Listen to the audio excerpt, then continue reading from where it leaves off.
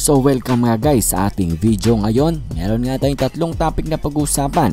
Yan nga ay una kay Ben Simmons at sunod naman kay Kawhi Leonard at dito naman kay Ray Allen sa panghuli. At para nga sa ating pangunang topic tungkol kay Ben Simmons dahil mukha nga ring frustrated na din itong si Ben Simmons sa kanyang sarili dahil nga wala pa rin siyang shooting kahit na limang taon na nga siya sa NBA. Dahil ayon nga dito sa report na ito ni Michael Scotto ng Hoops Hypes, ito nga daw si Ben Simmons ay narinig niya na nasa gym nga daw at nagpapalakas. Sabi niya, he's been in the gym working at na-recognize nga daw neto ni Ben Simmons na kinakailangan niya ngang ayusin ang kanyang shooting para nga makatulong siya dito sa kanyang mga teammates. Dahil nga, ito nga si Ben Simmons last postseason, last playoffs sa free throw line. 34% lamang ang kanyang percentage at ayaw niya ngang tumira ng mga jump shots dahil natatakot din siguro siya na magbintis nga siya. At si Doc Rivers nga, nung matapos nga silang malaglag ay naniniwala pa rin dito kay Ben Simmons na kaya niyang mag-improve. Pero sabi niya nga na kailangan niya nga pumunta ng gym at gawin lahat ng kinakailangan gawin para nga mag-improve ang kanyang shooting. At ngayong off-season nga, ito ayon sa report ay itong si Ben Simmons ay mukha nga nagfo-focus sa training niya sa kanyang shooting para nga mag-improve siya kahit papano. So hindi lamang yung good news sa mga fans ng Philadelphia, ganoon na din sa mga kakampi niya, sila Joel Embiid, sila Dwight Howard, sila Seth Curry at sila Danny Green. Sigurado ko na masaya at tuhang-tuwa yung mga kakampi niya na itong si Ben Simmons ay nagtitraining na nga para mag-improve ang kanyang shooting. At para naman sa ating next balita, itong si Kawhi Leonard ayon nga sa report neto ni Mark Stein ng ESPN na ang pinakamaaring mangyari nga daw dito kay Kawhi Leonard ay mag-opt out nga siya sa kanyang kontrata sa Clippers after 3 years. At para nga daw yan kumuha ng bagong kontrata sa Clippers na mas malaki ang halaga at mas mahabang panahon.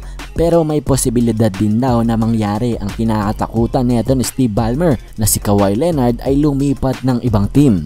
Dibangat kung natatandaan nyo ay maraming interesadong teams dito kay Kawhi Leonard at ngayong mag-opt out siya, paniguradong ang mga NBA teams ay gagawin ng lahat mapabago lang nila ang isip ni Kawhi Leonard na umalis nga dito sa Clippers. At yan nga ang isa sa ating mga abangan ngayong free agency.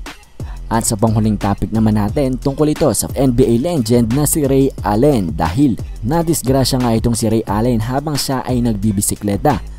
Ayon nga sa kanyang kwento kahapon daw nung patapos na nga ang kanyang bike ride, mabagal na nga daw ang andar niya sa kanilang neighborhood nang may isang kotse nga daw na dahan-dahan na umaandar sa kanyang likod at bumilis nga daw siya, binilisan niya para nga daw makaalis siya sa daanan ng kotse at nung tumingin daw siya sa likod niya, wala na yung kotse. Pero nung humarap nga siya, meron nga daw sanga ng puno doon sa kanyang daanan at nabangga niya nga yon at nagdahilan ng kanyang pagtaob. Una nga daw ang kanyang muka, sumunod ang kanyang balikat at ang kanyang bewang. Tumayo nga daw siya at bumalik sa kanilang bahay na naglakad at nung nakarating na daw siya ay nawalan nga daw siya ng hininga at muntikan na nga daw siyang mahimatay at immediately daw yung asawa niya ay dinala siya sa ospital.